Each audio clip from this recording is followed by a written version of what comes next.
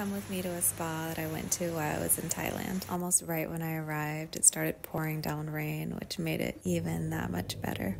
I arrived and grabbed a little towelette and then headed to the steam room. This was the most aesthetic steam room that I've ever seen. This whole hotel was so modern and contemporary. After opening my pores and hanging out in the steam room, I headed over to the ice room. At this point, the rain was really coming down and it was just creating a whole vibe. The weather was perfect too. It was still super warm, even with it raining. And I felt like I was outside, even though I was under a covering. The best part about it all is that I had the entire place to myself. I absolutely love the wood carvings in here. The whole thing was like a big tiki hut. And then they had these amazing outdoor showers with shampoo and conditioner and body wash where you can just rinse off and shower and get all clean while you're listening to the birds. Overall, I wish I would have given myself more time at this little spa area. It was so relaxing and refreshing, and it just makes me want to go back and experience it again.